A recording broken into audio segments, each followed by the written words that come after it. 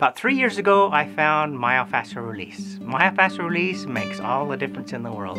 The most important thing that I went to Curt for was my shoulder that was really giving me some problems. And in my mind, it'd been hurting for so many years that I thought my options were cortisone shots or surgery. And I didn't know that there was another option where I could get this healed to the point where I had full range of motion. So I talked to Curt and he says he could help me with that. I have a very active lifestyle, mountain biking, wakeboarding, so I've sustained several injuries that require treatment.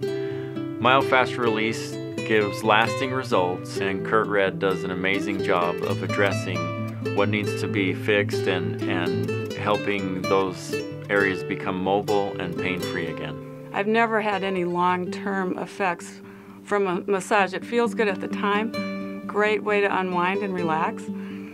But when I feel like I'm really getting tight, I, I, go to Curt and I just feel like this is last this is something that's lasting longer. It's making a deeper impact on that tissue and it lasts longer for me.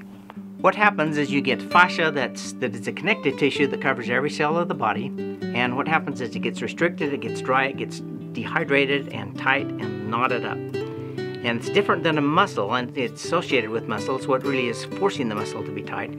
So what you do is go against it, put a little pressure on it, a little stress, a little a little stretch, not not hard, but just gentle. And slowly on its own, that fascia will begin to unravel, to let go, to loosen up, to lengthen out, and to soften. When you do that, it takes care of all the trigger points naturally. It takes care of the muscle getting smashed. When you get a shoulder to let go that way, it stays let go Um, made a whole world of difference in, in my business and made me a lot happier and make my clients a lot happier as well.